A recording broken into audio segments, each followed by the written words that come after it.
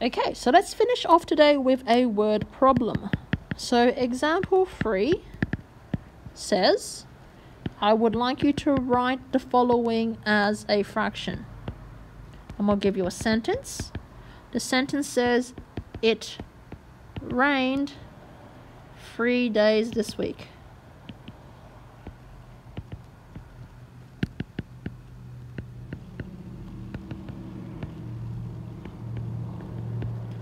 So I'm asking you, how do you represent this statement, it rained three days this week, as a fraction?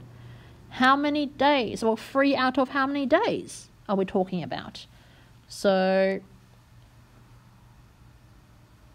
uh, the denominator you're thinking is, well, how many days are there in total in a week?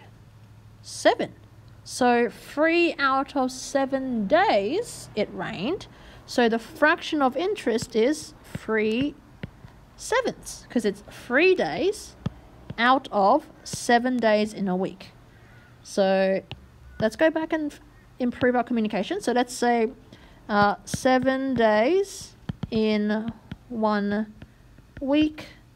So fraction of rainy days equals 3 out of 7. 3 horizontal line, your vinculum, 7.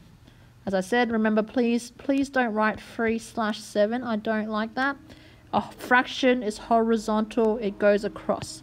And again, if you can stick with the habit of going across, I promise you it would help you so much more when it comes to year 9 and even higher level maths. But if you start using the slashes, you will come to struggle with a bit of algebra when you come to year 9 and year 10. So please don't use the slash notation.